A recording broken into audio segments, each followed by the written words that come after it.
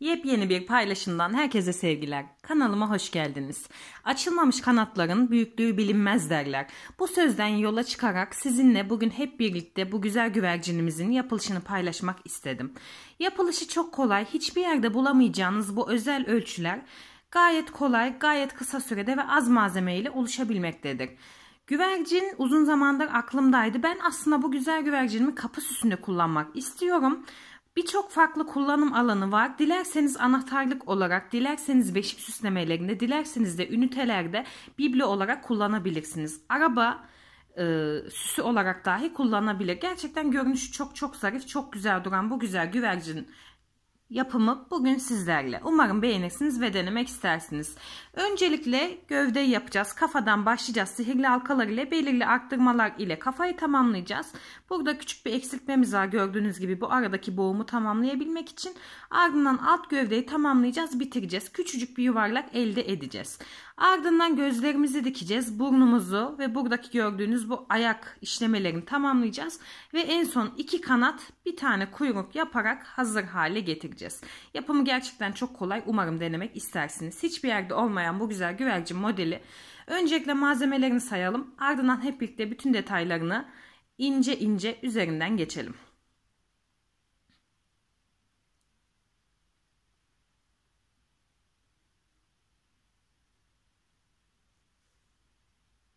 Başlıca malzememiz beyaz ipten oluşuyor. İster ören bayan Dora marka, ister kar topu organika marka, isterseniz de düz bebe yünüyle yapabilirsiniz. İp ince olmamalı. Kesinlikle lif ipi kullanmanızı tavsiye etmem. Normalde biliyorsunuz son yaptığım amigurumilerimde lif ipi kullanıyordum ama bu modelin biraz daha tok ve gösterişli durması gerekiyor. O yüzden normal kalın bebe yünü iplerle dahi oluşabilir. Beyaz düz beyaz renk bir ipimiz var gövdede ve kanatlarda kullanacağımız. Şöyle sarı ince oya ipim var. Bu gaga kısmında ve ayak işlemelerinde kullanacağım. Bu arada bu ipimi işlerken özellikle gaga kısmı biraz zorlayacak. Oraya çok çok dikkat edelim. Şöyle ince bir de dantel tığ kullanacağım. Numarası çok önemli değil. Bu şekilde ipi kavrayabilecek, ip ile ilmek alabileceğimiz incelikte tığ olursa daha kolay olacaktır. Sadece gaga yapımında kullanacağız bu ince tığımızı. Böyle ikinci renk bir ipimiz var. Güvercin tabii ki beyaza sarı gider. Ağız kısmı, gaga kısmı sarı ve ayak kısımları sarı olduğu için bu tonu uygun gördüm. Evet şöyle bir siyah boncuğum var. Göz için 2 adet siyah boncuk kullanacağım. Göz ne kadar gerçekçi durduğunu görüyorsunuz. Kesinlikle işleme tavsiye etmiyorum. Bu şekilde orta boy siyah boncuk daha güzel olacaktır. Boncuğu da en son kafayı tamamladıktan sonra dikeceğiz. Şöyle boyutum orta boy ipe geçebilecek boyuttaki boncuk. Normalde patiklerde kullandığım boncuğum.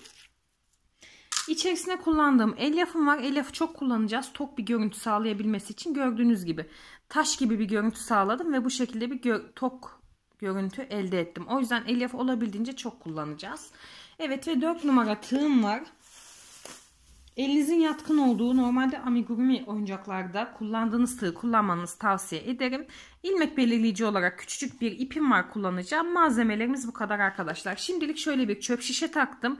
Videoda daha detaylı gösterebileyim diye. Anahtarlık olarak kullanacaksanız, örecekseniz anahtarlık halkasını unutmayın. Şimdi hep beraber kafa ile yapıma başlayabiliriz. Evet beyaz ipimi hazırladım. Öncelikle şöyle küçücük bir sihirli halka oluşturuyorum. Ardından bu halkamı bir tane kilitliyorum. Şimdi halkamızı 6 adet sık iğne ile dolduracağız. Çok sıkı yapmamaya özen gösterelim. 1 2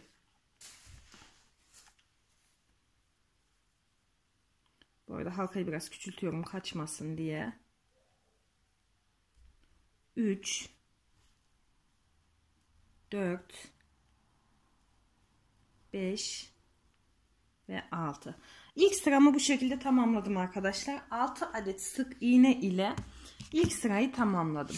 Şimdi ikinci sıraya geçeceğiz. İkinci sırada arttırma işlemine başlıyoruz. 6 olan sayımızı 12'ye yükseltmemiz gerekiyor. Bunun için her bir sık iğneye çift yani 2 adet sık iğne uygulayacağız. Bakın 2 4 6. İlk yaptığım sık iğnenin tepesine gittim. Buraya bir tane sık iğne uyguladım. Aynı yere bir tane daha uygulayıp burayı çiftlemiş oldum. İkinci sırama bu şekilde başladım. Devam ediyorum. Aynı yere iki tane sık iğne uyguladım. Devam ediyorum. 1 ve 2. 1 2 1 2 devam ediyorum. 1 ve 2 bu şekilde her bir sık iğneye çift sık iğne uygulayarak ikinci sırayı tamamladık. Elimizde toplam 2, 4, 6, 8, 10, 12 adet sık iğnemiz mevcut. Şimdi burada ilmek belirleyicimiz ipimiz devreye giriyor. İlmek belirleyici olarak kullanacağım ipi 12. sık iğnenin yani ikinci sıranın son ilmeğinin önüne kattım. Sıranın tamamlandığı bu şekilde belli olsun diye. Şimdi 3. sırama başlıyorum. 3. sırama çift ile başlıyorum. 3. sıramda ise bir tane çift sık iğne aynı yere 2 adet. Ardından bir tane tek sık iğne. Devam ediyorum. Bir tane çift. Bir tane tek. Bu sırayı da bu şekilde tamamlayacağız. Bir tane çift. Bir tane tek. Bir tane çift bir tane tek.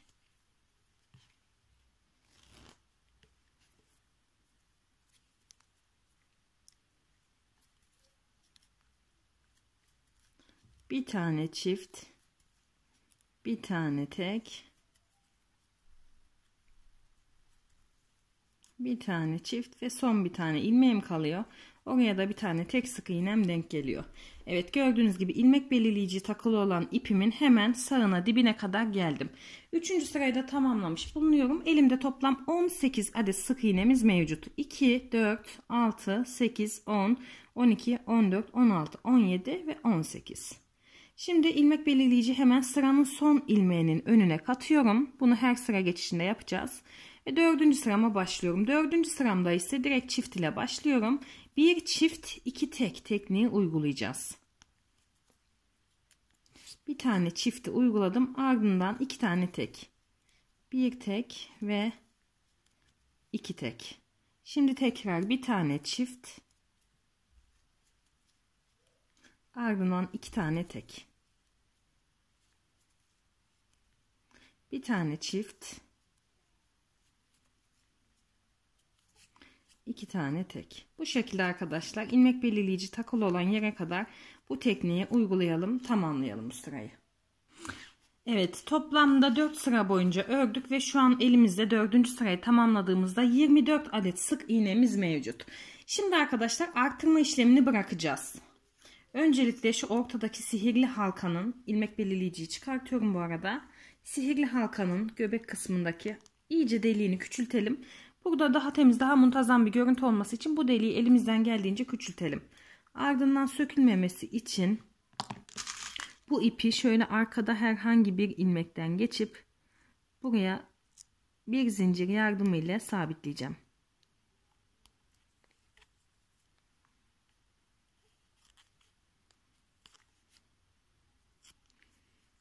Evet bunu da gördüğünüz gibi sabitledim ve delik olabildiğince küçüldü. Burayı da tamamladığımıza göre arkadaşlar şimdi devam ediyoruz. İlk 6 sık iğne ile başlamıştık. İkinci sırada 12, üçüncü sırada 18, dördüncü sırada 24 adet sık iğne elde ettik. Şimdi arkadaşlar toplamda 4 sıra boyunca bu 24 adet sık iğneyi öreceğiz. Eksiltme ya da arttırma işlemi uygulamadan 5. 6. 7. ve 8. sırayı yani toplamda 4 sırayı 24 sık iğne ile örüp uzatalım. Evet toplamda 8 sıra oluşturduk gördüğünüz gibi. 24 sık iğnemizi 4 sıra daha ördük ve 8 sıraya tamamladık. Şimdi ilmek belirleyicimizi koyuyoruz. Burada eksiltme işlemi uygulayacağız. Sıranın son ilmeğinin 8. sıranın önüne koydum. Ardından devam ediyorum. Şimdi ise arkadaşlar yapacağımız işlem 2 sık iğne bir eksiltme yöntemi ile 24 olan sayımızı 18'e düşüreceğiz. Başlıyorum. Bir sık iğne Ardından 2 sık iğne. Eksiltmeyi gizli eksiltme tekniği kullandım ben. Daha düzgün, daha temiz dursun diye normal eksiltme de uygulayabilirsiniz. İlk 2 adet sık iğnemi ördükten sonra gizli eksiltme ile 2 ilmeği 1 ilmek olarak örüyorum. 2 sık iğnenin öndeki dallarından geçtim. İpi doladım, çektim. Bir sık iğne olarak ördüm. Eksiltmemi tamamladım. Ardından devam ediyorum. Bir sık iğne ve iki sık iğne. Ardından eksiltme. Yan yana iki sık iğnenin sadece öndeki dallarından geçtim. Bir taneymiş gibi sık iğnemi ördüm. Devam ediyorum. Bir sık iğne ve iki sık iğne. Ardından eksiltme. Sadece öndeki dallardan geçtim.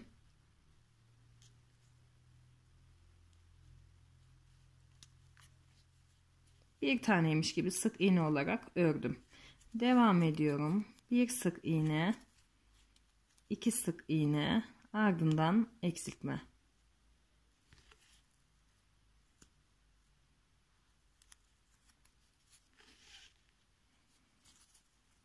Sıra sonuna kadar bu şekilde ilerliyoruz. 2 sık iğne bir eksiltme tekniği ile. Bir sık iğne, iki sık iğne ardından eksiltme.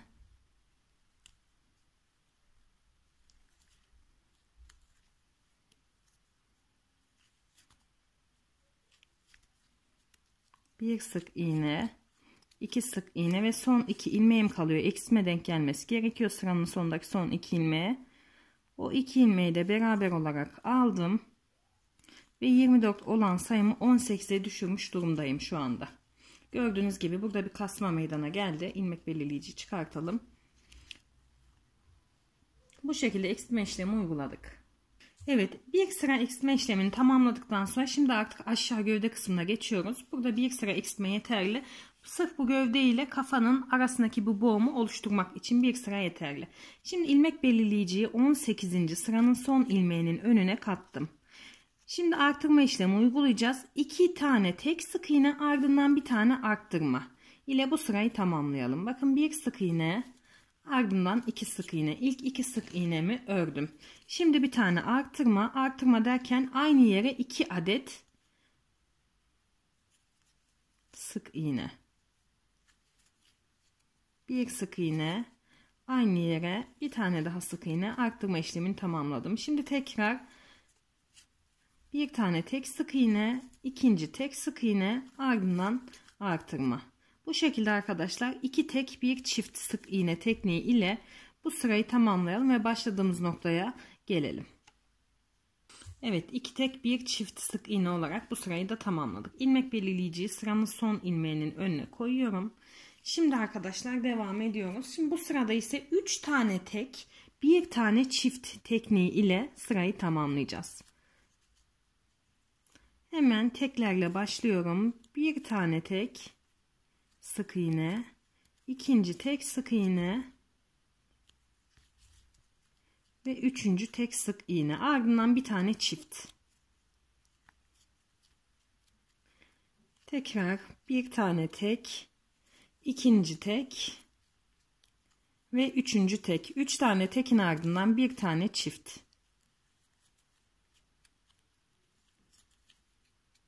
Bu şekilde bu sırayı tamamlayalım. Üç tane tek sık iğne, bir tane çift sık iğne. Bu sırayı da bu şekilde tamamlamış durumdayız. Evet arkadaşlar şimdi Artırma ya da eksiltme işlemi uygulamadan 4 sıra boyunca elimizdeki sabit sık iğneleri öreceğiz. Her bir sık iğneye bir adet sık iğne uygulayarak 4 sıra boyunca örüp uzatalım. Ardından hep birlikte devam edelim. Toplamda 4 sıra daha ilave edeceğiz. Evet 4 sıra boyunca ördük elimizdeki ilmekleri. Şimdi elyaf ilave edeceğiz. Elyafı ne kadar çok ilave edersek tok bir görüntü sağlarsak o kadar iyi olacaktır. O yüzden Elimizden geldiğince yoğun miktarda elyaf kullanmaya dikkat edelim. Şöyle ilmek belirleyici olarak kullandığım ilmeğimi genişlettim.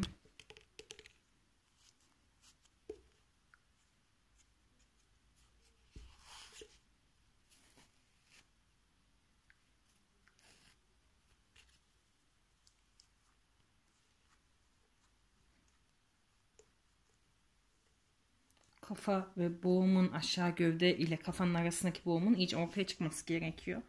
Gördüğünüz gibi yukarıya doğru biraz daha baskı uyguluyorum. Kenarlar köşeler boş kalmasın iyice dolu dolu gözüksün diye.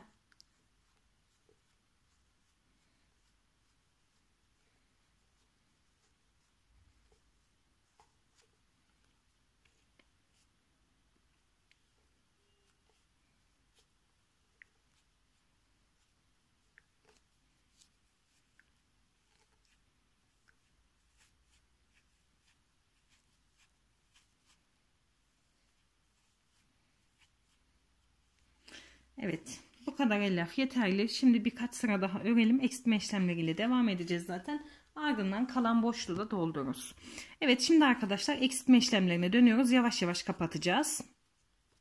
Şimdi bu sırada ilmek belirleyiciyi şöyle sıranın son ilmeğin önüne katıyorum. Şimdi iki sık iğne bir eksiltme tekniği uygulayacağız. Artık ağız kısmını aşağı kısmını bu şekilde kapatmaya doğru ilerliyoruz.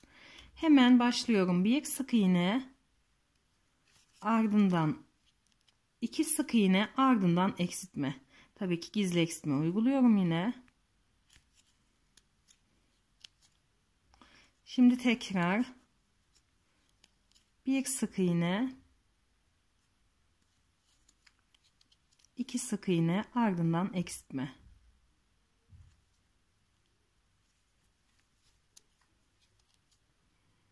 Şimdi tekrar bir sık iğne 2 sık iğne ardından eksiltme. Bu şekilde arkadaşlar bu sırayı da ilmek belirleyici takılı olan ilmeğin oraya kadar ilerleyelim. 2 sık iğne bir eksiltme tekniğiyle tamamlayalım. Evet bu sırayı da bu şekilde tamamladık. Hemen ilmek belirleyiciyi son ilmeğin önüne katıyoruz. Şimdi ise bir sık iğne bir eksiltme tekniği ile bu sırayı da tamamlayacağız. Hemen başlayalım.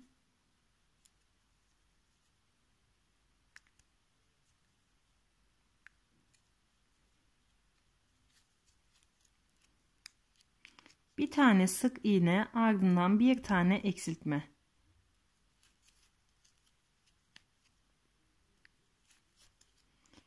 Bir tane sık iğne ardından bir tane eksiltme. Evet bu sırayı da bu şekilde tamamlayalım. Evet bu şekilde bu sırayı da tamamladık. Şimdi ilmek belirleyiciyi çıkartıyoruz.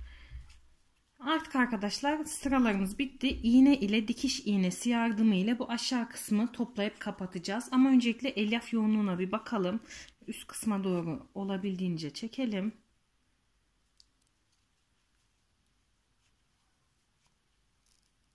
Ne kadar sert olursa o kadar tok ve güzel bir görüntü oluşuyor. O yüzden elyafı olabildiğince yoğun koyuyoruz. Gördüğünüz gibi üst kısma kafa kısmına çektim. Aşağıda biraz boşluk oluştu. Hemen o boşluğu da dolduruyorum.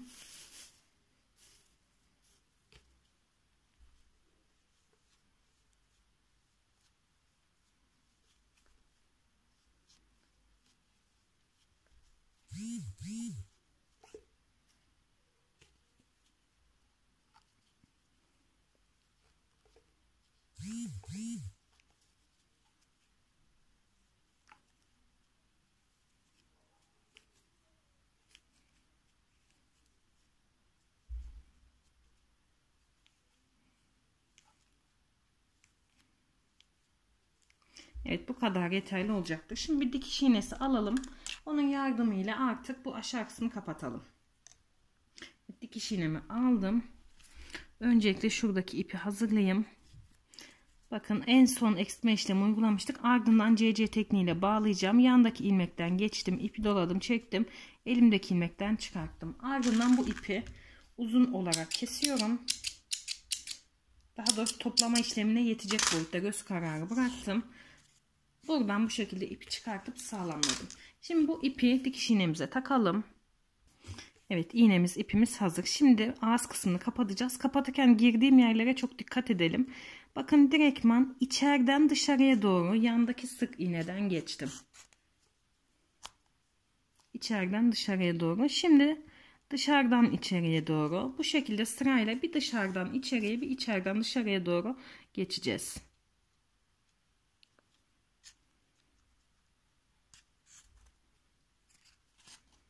Tabii elyaf miktarı biraz çok olduğu için zorlanabilirsiniz. Burada dikkat edelim.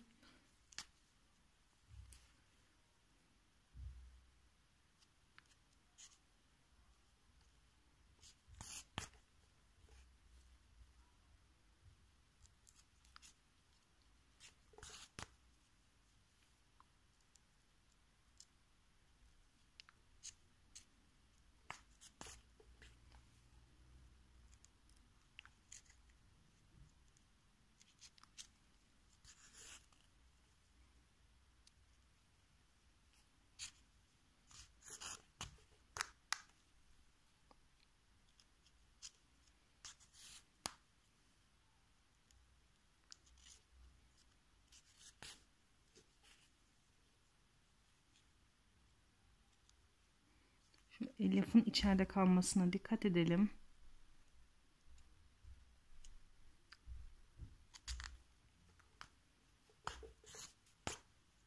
Gördüğünüz gibi ağız kısmı gitgide küçülüyor bu şekilde. Elyafı biraz itelim iç kısımda kalsın.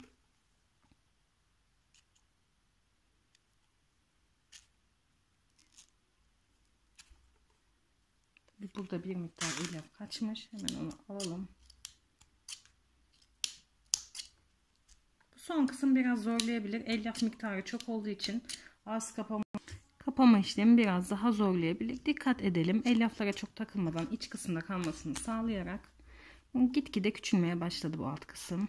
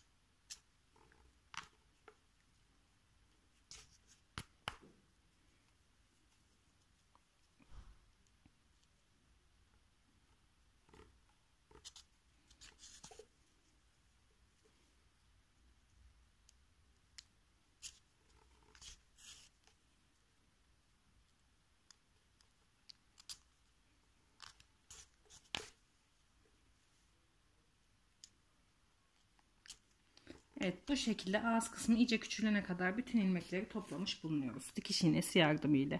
Bu son kalan küçük bu büzme yapan yerde hemen birbirine yapıştırarak bitiriyoruz.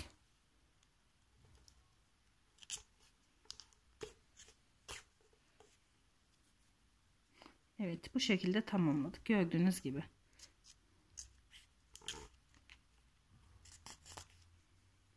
Şimdi bu aşağı kısımda herhangi bir ilmekten geçiyorum. İğnemin başına ipimi doluyorum. Bunu buraya sabitleyerek ipimi kopartıyorum. Ve bu şekilde kafa ve gövdemiz bitmiş durumda.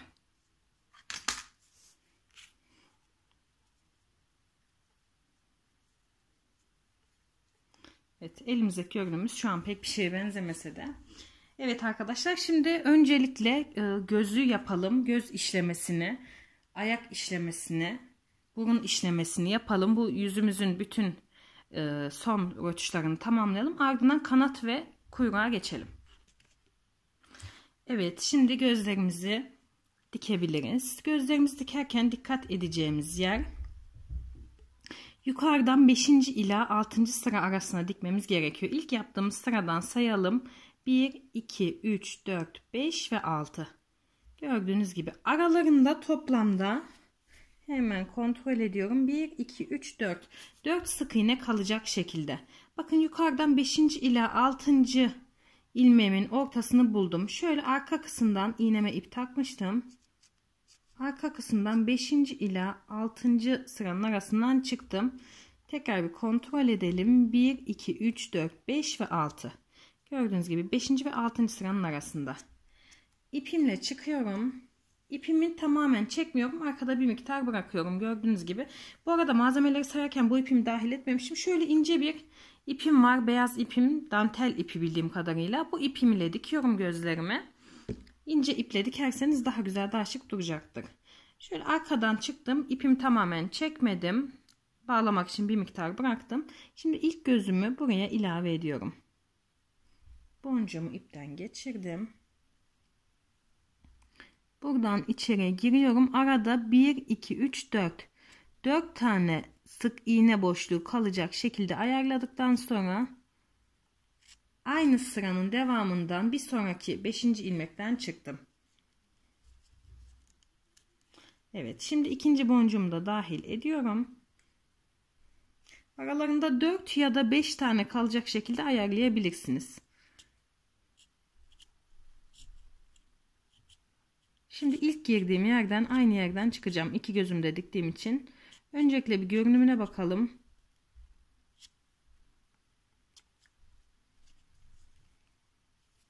Evet.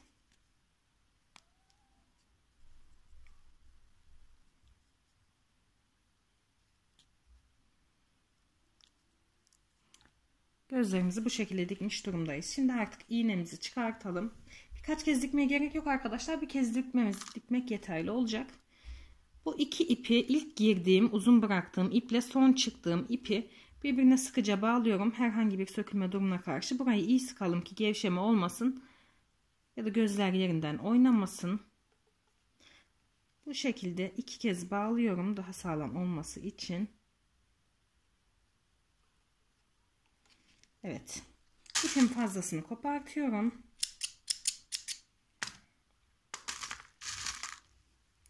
Bir tığ yardımı ile buradaki ipimi iç kısma doğru çekip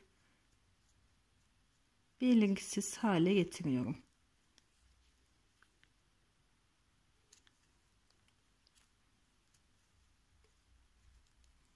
Tabii çekemedim.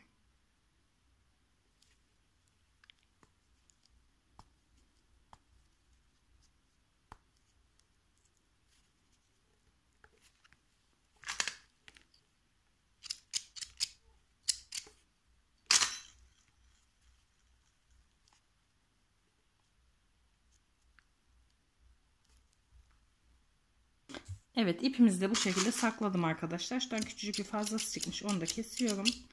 Ve daha temiz bir hale getirdik. Gözlerimiz de tamamlandı. Şimdi gözlerimiz tamam. Ardından gagamıza geçelim. Burada dantel ipimiz devreye giriyor. Önce gagayı burnumuzu yapalım. Ardından e, ayak kısmına geçeceğiz. Şöyle tekrardan göstereyim. Gagamızı tamamlayacağız şimdi. Evet gaga kısmı biraz e, uğraştırıcı o yüzden çok dikkat edelim. Gagayı başlayacağım yeri belirliyorum. Gözümün takılı olduğu sırayı birinci sıra olarak belirliyorum. İkinci ve üçüncü. Alttan üçüncü sırayı buluyorum. Bakın gözümün takılı olduğu sıra 1, 6, 2, bir 6, 3. Hemen gözün çaprazına denk gelecek şekilde biraz göz kararı yapıyorum bu işlemi. Hemen gözün çaprazına denk gelecek. Şöyle bir çizgi oluşturalım bakın eğik bir çizgi. Bu ilmeğe denk geliyor. Bu ilmeğimden geçiyorum. Burası gerçekten uğraştırıcı. Birkaç kez yapıp sökebiliriz. O yüzden dikkat edelim. İsterseniz normal sarı ip ile sihirli halka ile altı sık iğne örüp dikebilirsiniz. Hani ilk yaptığımda çok zorlanmıştım. Bu yolu bulmuştum. Şöyle ipime düğüm atıyorum. Ardından buraya bu ipimi bağlıyorum.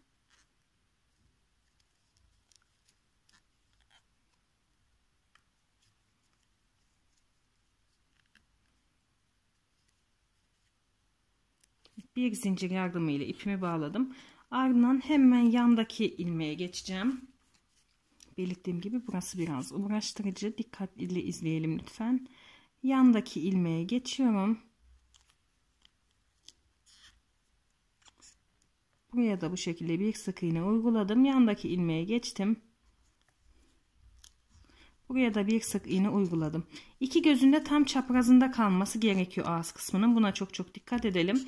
3 tane sık iğnemi uyguladıktan sonra 1 2 3 tane zincir çektim. Tığımın başına aldım. Bu 3 tane sık iğneye 3 hatta 6 tane Evet 3 tane sık iğneye 6'şar tane ikili trabzan oluşturmamız gerekiyor.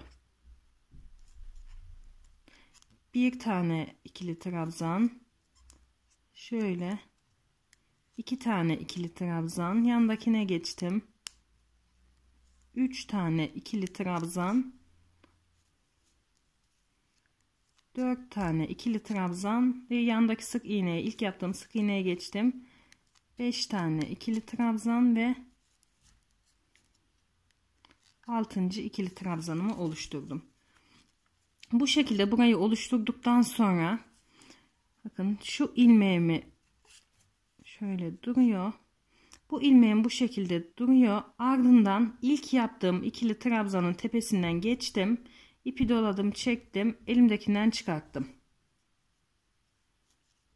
Bir tane zincir çektim.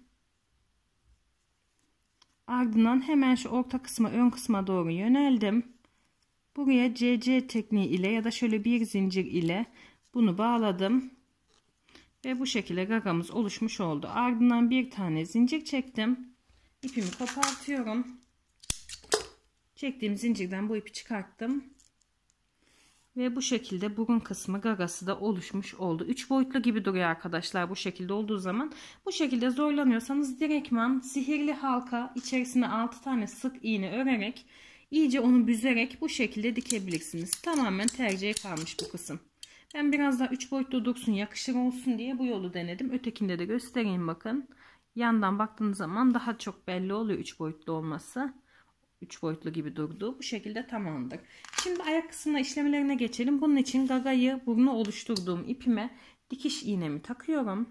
Bu arada dikkat edelim. Dikiş iğneme ipimi taktım. Biraz uzun bırakıyorum. Burada uzun olması gerekiyor. Evet. Şimdi işlemelerimize geçeceğiz. Ayak işlemesine. Ayak işlemelerimiz daha kolay. Direktman U harfi işleyeceğiz. 1, 2, 3. Yukarıdan aşağı doğru enine 3, boyuna 3 olarak bu şekilde aralarında toplamda 1, 2, 3, 4. 4 tane sık iğne kalacak şekilde işleyelim. Bakın hemen şuradan başlasam 1, 2, 3 tane. 1, 2, 3, 4 tane. 1, 2, 3 tane. Hatta şu kenardan başlayalım direktman. 1, 2, 3 tane.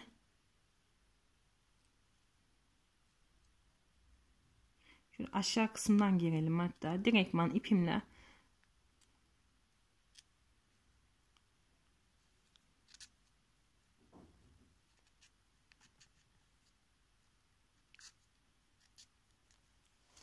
aşağı kısımdan girdim. İpimin tamamını çekmedim. Burada bağlamak için bir miktar ip bırakıyorum. Gördüğünüz gibi. Ardından bu çıktığım birinci, yukarı ikinci ve üstteki üçüncü. Üçüncü sık iğneyi bulup çıkıyorum. Karşıdan da aynı şekilde birinci, ikinci, üçüncü sık iğneyi buluyorum.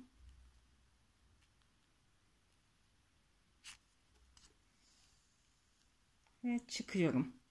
Aşağı doğru U harfi oluşturuyorum.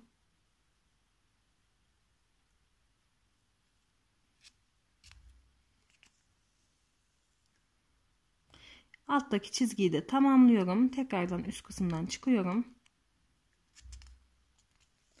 U harfini oluşturdum. İlk bir sırayı bu şekilde tamamladım.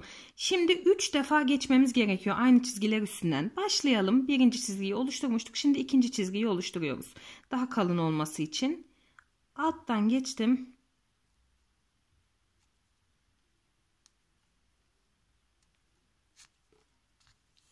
Karşısından çıktım. Buradaki ikinci çizgimi de oluşturuyorum. Tepeden çaprazdan çıkıyorum.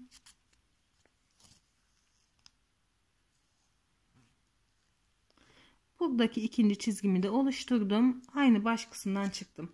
İkinci defa aynı U harfini tekrarlamış olduk. Daha da kalın bir görüntü sağladık. Şimdi üçüncü defa tekrarlayacağız. Aynı şekilde yukarıdan aşağı doğru ardından karşıya doğru geçtim. Üçüncü çizgim tamam. Alttaki üçüncü çizgimde tamamlıyorum. Karşıdan geçiyorum. Evet kısacık bir kamera kaybından kay, kaymasından sonra devam ediyoruz. Bu şekilde üçüncü kez dolanmış durumdayız şu anda. 3 kez dolandık ki daha kalın olsun daha gösterişli dursun diye. Gördüğünüz gibi ilk bacağımızı bu şekilde oluşturduk. Direkt içeriden karşıya geçiyoruz. Aralarında 1, 2, 3, 4 tane bırakıyorum. 4 boşluk bırakıyorum. Tabii umarım düğüm olmaz diyordum ki başıma geldi. Videonun aksiliği ne zaman videoda anlatacak olsam bir modeli muhakkak bu sıkıntıyı yaşıyorum. Normalde düz yaptığım zaman hiçbir sıkıntı olmuyor ama videoda herhalde biraz da nazardan bu şekilde karmaşıyor. Evet. Ben burayı temizleyeyim arkadaşlar.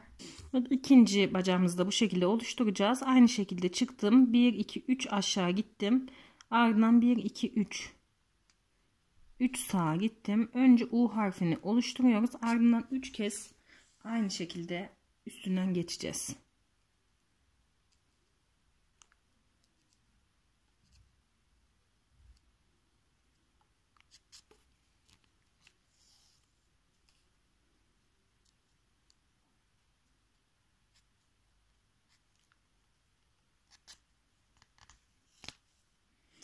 U harfini oluşturduk arkadaşlar.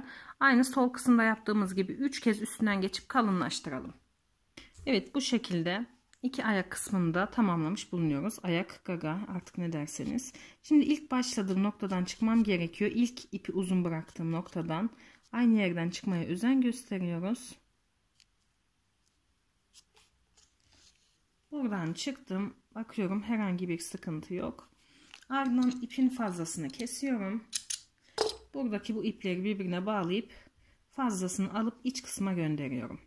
Geriye kaldı bir tek kuyruk ve e, kanatlar arkadaşlar.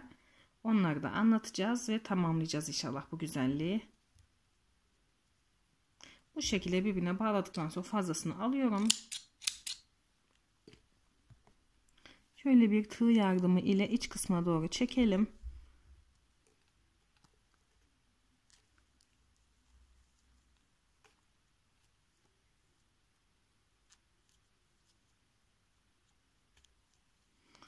Evet gördüğünüz gibi bu şekilde tamamladık.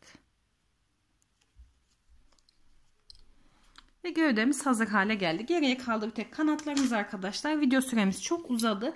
Kanatları videonun ikinci bölümünde anlatayım. Hem birazcık mola vermiş dinlenmiş olalım hem de daha ayrı olsun farklı işlemlerde de kullanmak isterseniz kanat yapımına direkt ulaşabilin diye kanat yapımı ve bu gördüğünüz alttaki kuyruk yapımını Videonun ikinci bölümünde hep beraber devam edelim birleştirme işlemiyle. Ve vücudumuz bu şekilde tamamlandı bile. İzleyen herkese çok çok teşekkür ederiz. Alt açıklama kısmına ve yorumlara videonun devam linkini bırakacağım. Oradan devam edebilirsiniz. İkinci bölümde görüşmek üzere. Hoşçakalın.